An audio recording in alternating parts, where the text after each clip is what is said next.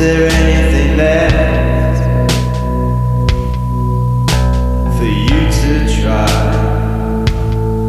You don't want to die. You're wondering, is there anything?